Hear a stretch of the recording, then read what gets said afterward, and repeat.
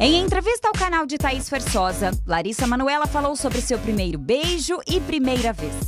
Nós encontramos a atriz que falou mais detalhes sobre sua intimidade.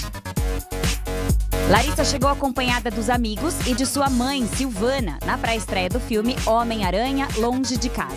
E claro, não poderíamos deixar de perguntar sobre Léo Cidade. Cadê o seu Homem-Aranha? Ai, meu Homem-Aranha, que de fato é o Homem-Aranha, que ele é. Ele, de tão fã que ele é, ele não conseguiu vir, ele me mandou, entendeu?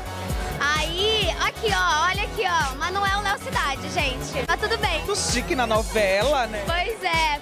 Ele trabalhando de lá, eu trabalhando de casa. Às vezes a gente tem esses desencontros, né? Conforme essa agenda lotada, mas sempre que possível a gente tá junto. E compensando essa saudade, que é gostoso também sentir. A internet de fato é muito criativa. Mel Francoviac se caracterizou de Sadê no show dos famosos, mas virou piada nas redes sociais ao ser comparada com Larissa Manuela. Acho que foi uma foto que ela postou, não foi? Acho que até eu. Eu olhei e falei assim, gente, a Mel Francoviac me homenageou porque a testa tava lá, não foi assim um negócio desse?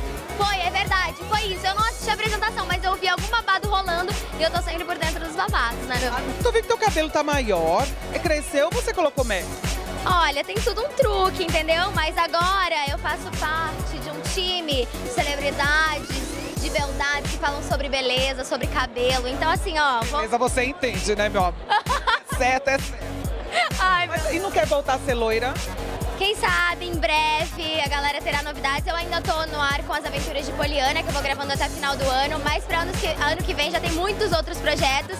E aí vem aquela necessidade de mudar também. Então, quem sabe o pessoal vai ver uma nova Larissa Manoela aí com cabelo diferente, um corte diferente, uma cor diferente. Que burburinho, né? Quando você revelou que perdeu a vi- a virgindade. As pessoas fizeram um burburinho por causa disso. Ai, meu Deus do céu. Pois é, foi uma entrevista muito bacana para Thaís Versosa, que eu amo, que eu admiro. Que inclusive tem uma família linda. E ela muito querida, falando sobre todos os assuntos, mas a galera gosta de uma polêmica, né?